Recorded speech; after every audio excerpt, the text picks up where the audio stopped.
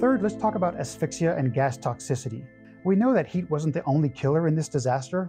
In the pyroclastic surge or flow, the gas component of the material ejected from a volcano is composed of superheated ash, carbon dioxide, sulfur dioxide, hydrogen sulfide, and very fine particles with extremely low humidity.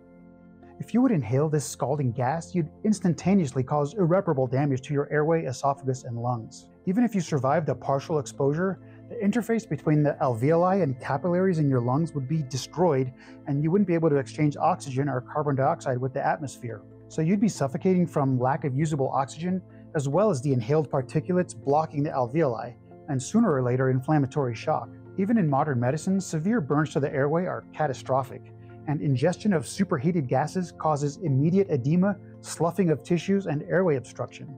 None of those things are reversible in a scenario like Vesuvius.